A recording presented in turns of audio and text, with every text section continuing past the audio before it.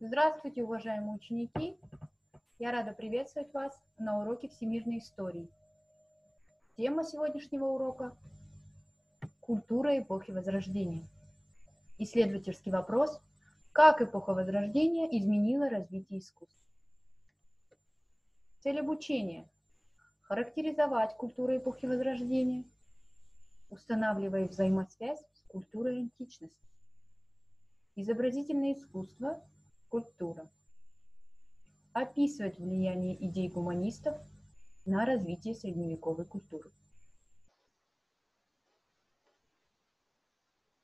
Эпоха Возрождения – это период в европейской культуре с 15 по 16 века, который характеризовался проявлением интереса к личности человека, отрицая средневековую смиренность и подчинение церкви.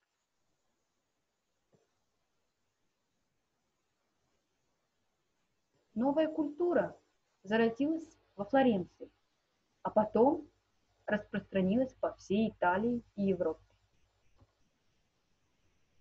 Периоды эпохи Возрождения. 13 век. Предвозрождение. 14-15 век. Раннее Возрождение.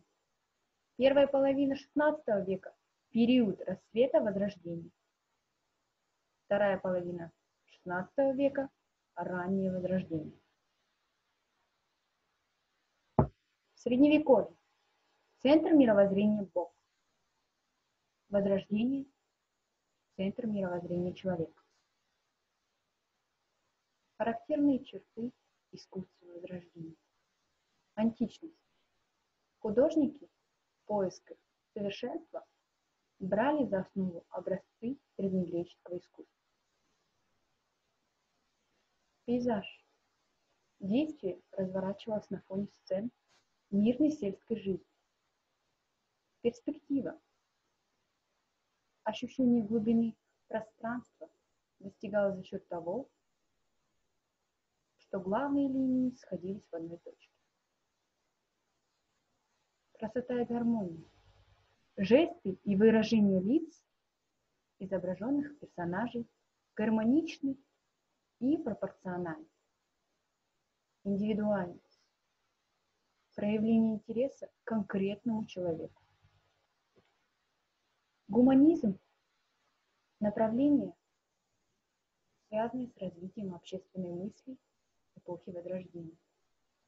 Основой Ренессанса был гуманизм – XVI веке гуманизм перерос в общественное движение, охватившее Западную и Центральную Европу. Культурные идеи эпохи Возрождения раскрываются через гуманизм. Большой вклад в развитие культуры эпохи Возрождения внесли такие художники, как Леонардо да Винчи, Микеланджело, Рафаэль Санти. Познакомимся с ними. Леонардо да Винчи – великий итальянский художник, живописец, скульптор, архитектор, ученый, математик, физик, яркий представитель типа универсального человека, идеала итальянского ренессанса. Великую, велика роль его в сфере изобразительного искусства. Произведения художника составили великолепное сокровище человеческой культуры. Например, портрет Мона Лизы Джаконды в настоящее время хранится в Париже, в музее Лувр. Известны также его картины Мадонна Лита, Мадонна Бенуа, портрет Джиневры де Винчи. Микеланджело – итальянский скульптор, живописец, архитектор, поэт-мыслитель, один из величайших мастеров эпохи Ренессанса. Отец отдал Микеланджело на воспитание другим людям. Находясь в Капрезе, он раньше письма и чертения научился работе с людьми. Деятельность скульптора связана с двумя городами Италии – Флоренцией и Римом. Во Флоренции Микеланджело создал свою известную скульптуру «Давид». которая долгие годы была эталоном человеческого тела. В Риме родилась и. Художник свои сакральные мысли воплотил в искусство. По заданию римского папы Юлия II на потолке Сикстинской капеллы он изобрел, изобразил 300 эпизодов рождения мира по библейским сюжетам.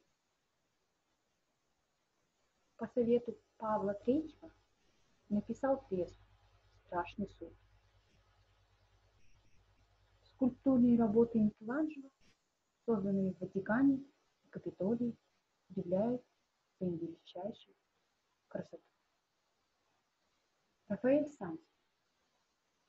Итальянский живописец, график, архитектор, представитель флорентийской школы, один из крупнейших представителей искусства, высокого возрождения, безупречное владение линией и умение обобщать и выделять главные, сделанные Рафаэлем, одним из самых выдающихся художников всех времен.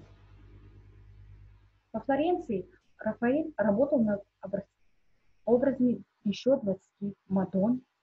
Его самая первая картина называлась «Мадонна Соль». Мадонна Грандука, Мадонна с гвоздиками, самые известные Мадонна Тирануава, Мадонна с Ионом Крестителем и Николаем Избарем. Самым выдающим произведением Рафаэля бесспорно Сикстинская Мадонна. Заказ на данную работу дали монахи церкви Святого Далее я предлагаю вам поработать с картинкой на следующем слайде.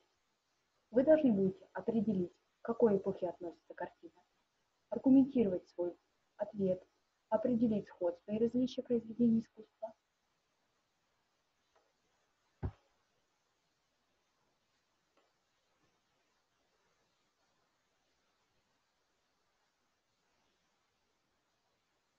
Следующее задание нужно будет заполнить таблицу.